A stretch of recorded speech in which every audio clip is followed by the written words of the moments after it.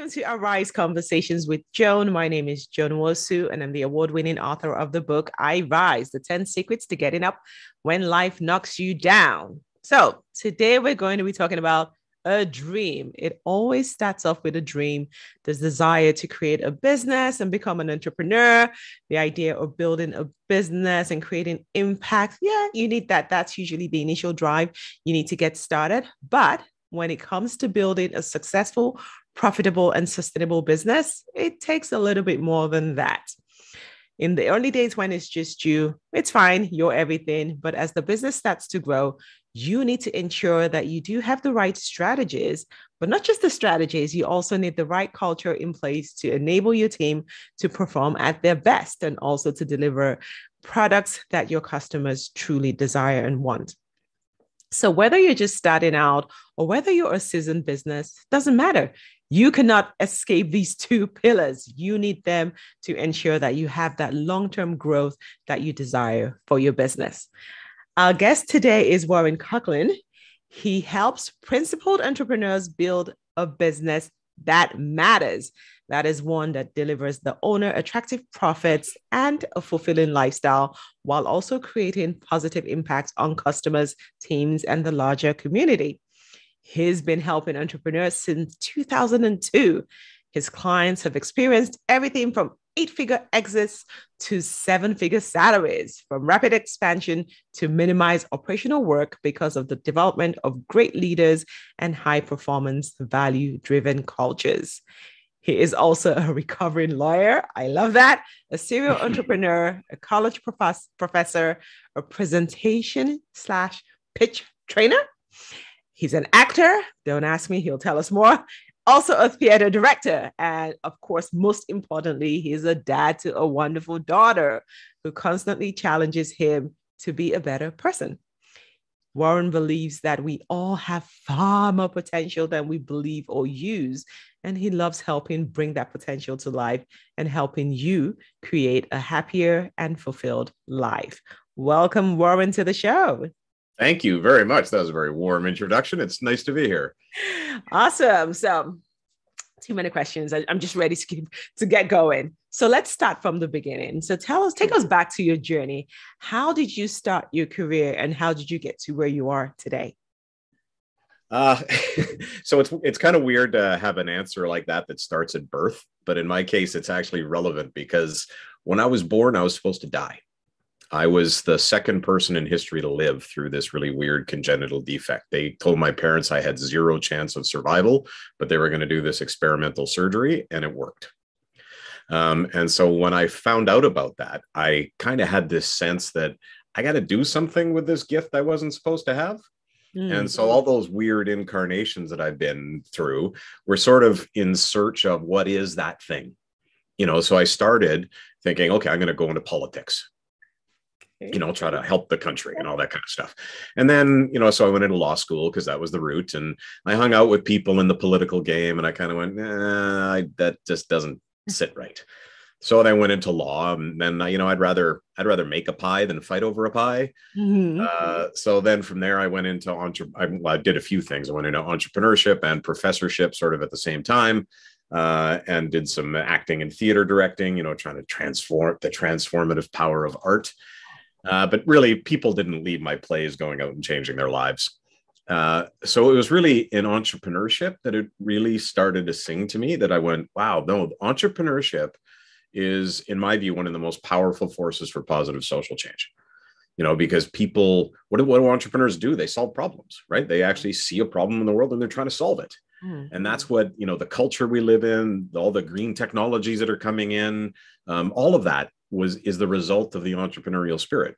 And so that's where i thought no this is where i want to play. So i became an entrepreneur. And then as things went along we actually i was had a business that got really badly hurt during the dot bust era you know back in the late 90s early 2000s and it was uh it was tough you know but we got through it. And then i thought well you know what? One of one of my partners he wanted to buy the rest of us out so we went okay so i, I sold the business and then went okay, so what's next? And I thought, well, there's a lot of other entrepreneurs who have probably been through tough times. And then a family friend was doing this weird thing called business coaching. I'd never heard of it before. And she told me about it. And I went, Oh my God, that sounds amazing. And I talked to friends and family, and they were like, Oh my God, that's perfect for you. Uh, and so that's what I jumped into. And it's been 20 years since then. And I haven't looked back because I, you know, I think there's a, there's a great line in the play Rent that says the opposite of war is not peace, it is creation. Hmm. And you know what entrepreneurs do is they create. And so I thought, well, if it matters that you do it, then it matters that you do it well.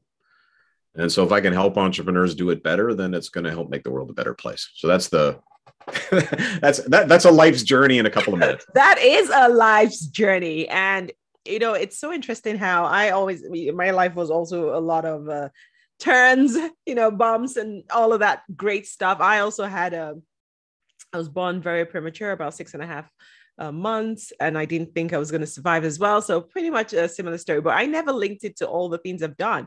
So, I find it so fascinating that, you know, all your stories, everything, now that I'm looking back and you're telling the story, it's all connected.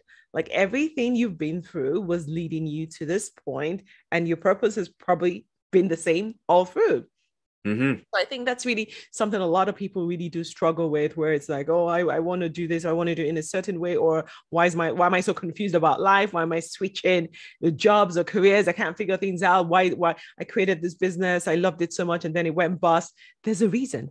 It's leading you somewhere. Mm-hmm. Just trust the process. Just keep going with it, and you will find what your true purpose is. So that that's you know interesting on that. I've actually done this exercise with people where I'll say on the left side of a page, write down all the awful things that have happened in your life that you hate.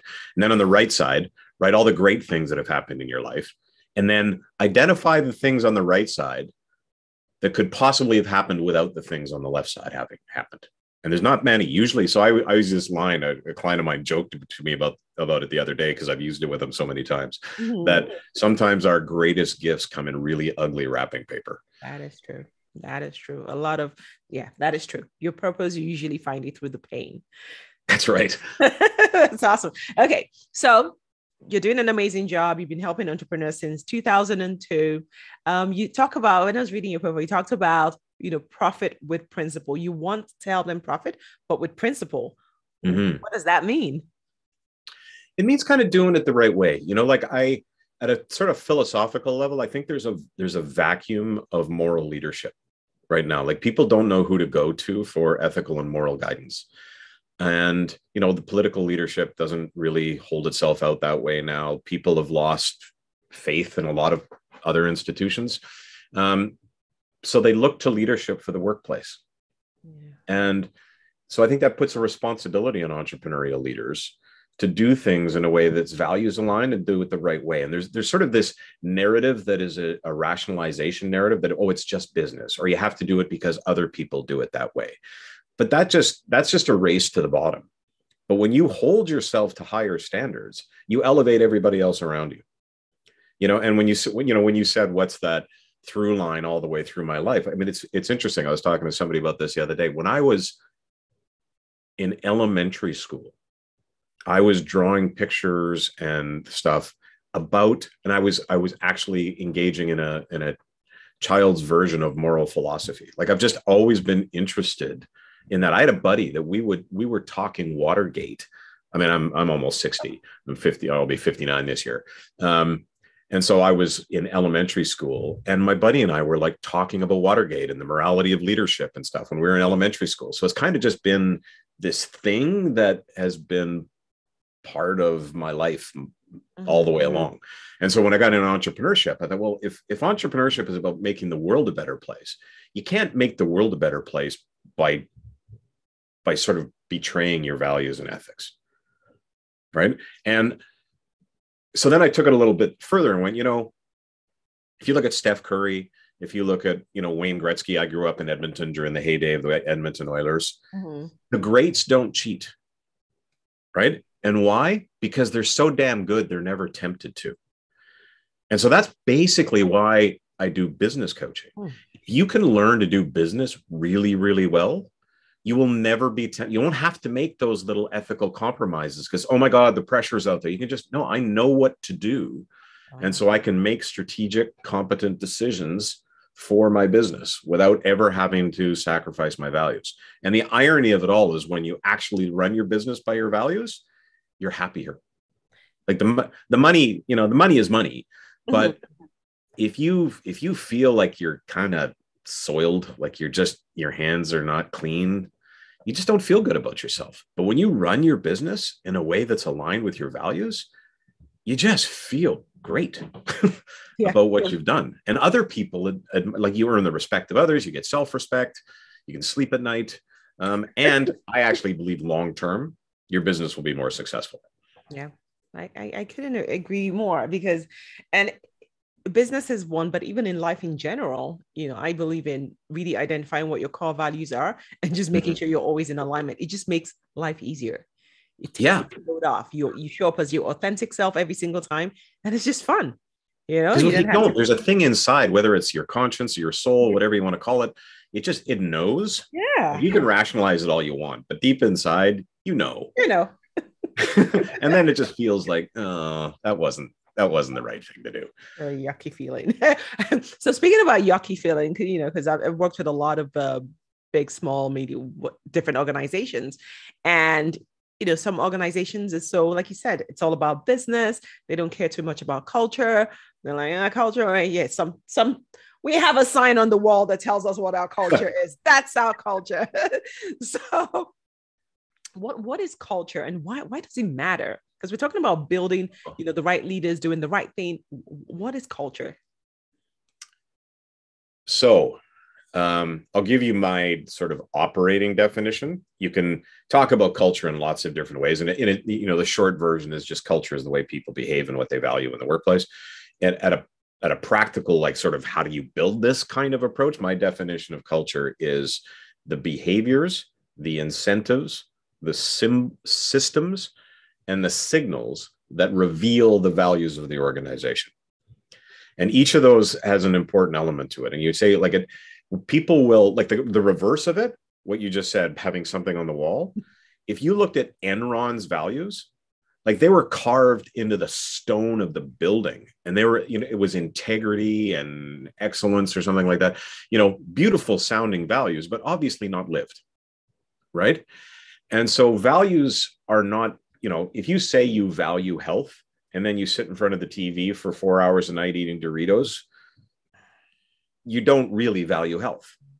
You might want to value health, but in fact, you don't. And so when you look at what's going on in organizations, you look at the behaviors. So if people say we're team, but then everybody functions in their silos, mm-hmm. then no, you don't actually you don't actually value team you know? And then there's the systems. So perfect example of this i had a client a construction company and true like I, I knew the owner very well. In her soul she valued safety super high. Like she cared about her people very much. But her systems were the only thing the foreman had to submit every week were productivity reports. And then incentives the project managers were compensated on productivity targets. There was no incentive based on safety. There were no systems based on safety. So, in the middle of a snowstorm, what is everything about the organization structure telling people is most important? Productivity or safety? Productivity. Productivity. Even though in truth they they wanted to value safety, they set it up in a way that it wasn't. So, culture is way more than just kumbaya and we want to do good in the world and that kind of stuff. Like it's actually pretty badass. Like you've got to be really thoughtful mm-hmm. about how you do business and what it produces in people. You know, because people will follow the incentives, they'll follow the systems, and then the signals are, you know, if you say we're all about ethics and we're all about doing business the right way, and then you have a salesperson who brings in three million a year but treats everybody like crap, and you let that person continue with that, yeah. you're really saying you value money more than anything else. Yeah. And people will go, oh, or the person who gets to have lunch with the president, you know, they're a sycophant, you know, and you say you want equal treatment. Mm. Eh, you're signaling something different than that. Mm. And so it really requires a lot of thought and intentionality to build to build a culture, right? So that's the definition in terms of why it matters. tons of reasons why it matters. At its core, I think at a selfish level, from the business owner standpoint, just makes your life easier. You know, and I, I use the term high performance culture. So there are people who build quote nice cultures. And I, I had a client who did that, and it was all giving. She just she was such a beautiful person, and she just gave, gave, gave all the time. But when things got, everybody just jumped off the ship like rats jumping off the sinking ship when things got tough. And it was like she was so hurt. And part of it was like there wasn't an expectation of reciprocation. Right. And so culture is not just you, the leader, being nice and buying foosball tables and letting people have Friday afternoons off. A high performance culture is one where, let me put it this way: if, if you if you are you did you play sports? Not really. okay. But for for any listeners that do play sports, one of the things like when you like to play, no one wants to be on the line with the slacker. No. right? Because it's no fun, right? You want to be on a line with people who are really giving it. Or, you know, if you're in arts, like in theater, you don't want to be on stage with a person who forgets their lines, right? It just makes life not fun. Mm-hmm. And so when you are with high performers, everybody likes it more. This is the irony, right? Like everything, oh, people want to be slack. No, they don't. They want to be challenged. And when you got a group of people around you who are all kind of pushing each other a little bit to do good, hmm. everybody's motivated. And so productivity goes up. You don't have to manage people as much because they're problem solvers. Clients are happy because they're being well served. You don't have to recruit as much because you got a higher employee retention. Your profits higher because people are more productive. And it's just more fun. You know, so that's those are the reasons really why it matters.